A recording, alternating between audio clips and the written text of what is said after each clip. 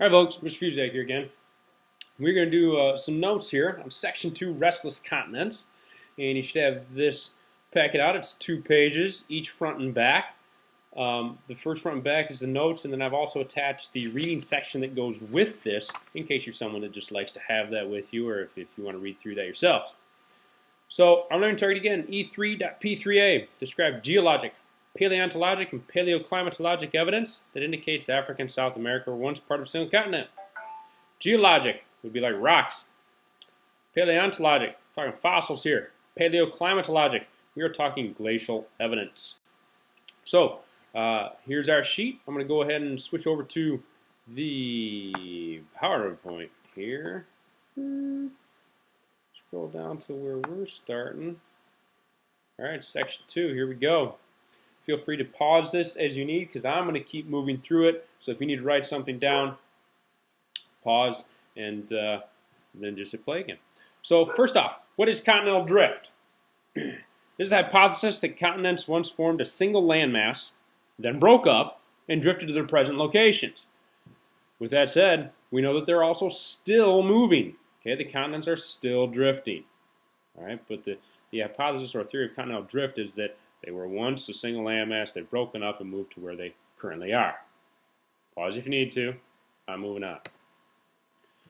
Two says, uh, what three things have been found on separate continents that support the idea of continental drift? Fossils. You can see the colored bands here showing the, the places that we find these particular fossils of these particular species. Similar types of rock. So it would look, uh, we're seeing similar rock layers, uh, say on the coast of South America, and in certain places on the coast of Africa, indicating that, hmm, these puzzle pieces probably did fit together at some point. And three, the same ancient climatic conditions. This is that glacial evidence we're talking about. See how they're all attached to what uh, uh, is now Antarctica?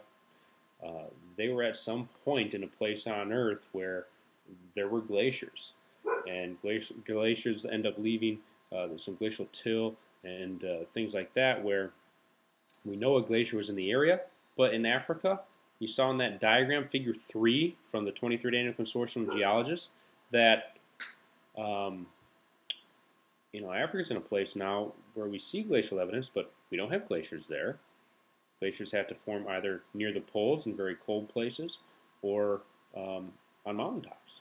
Okay, and we have them on coasts of Africa and India, places where we shouldn't normally have them. Pause if you need to. I'm moving on. So what's a mid-ocean ridge for number three?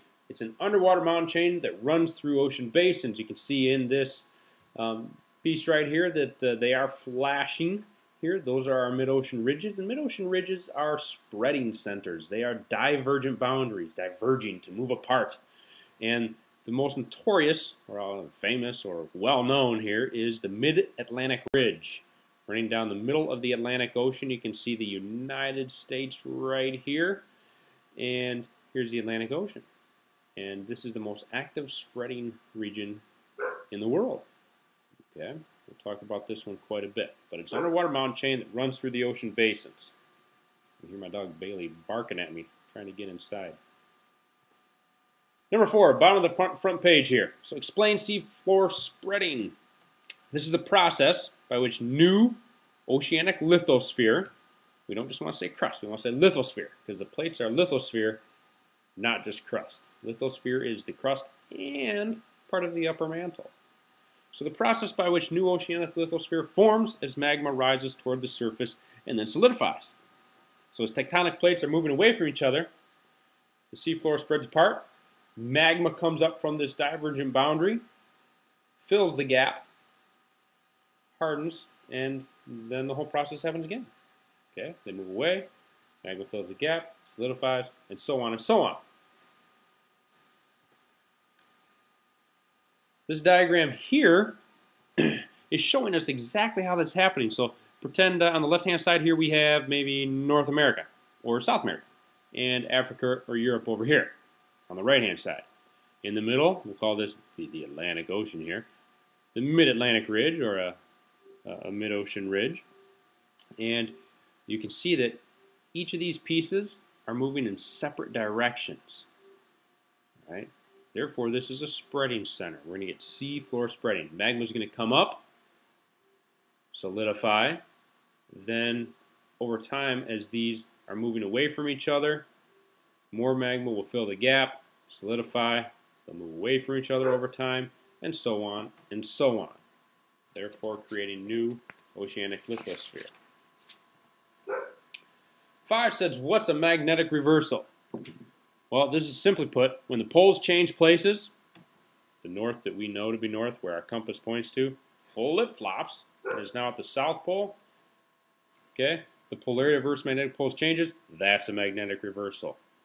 So our normal north-south that we think of now, when that flip-flops, um, magnetic reversal, our polarity has changed. And we have discovered that this has happened many times throughout Earth's geologic history.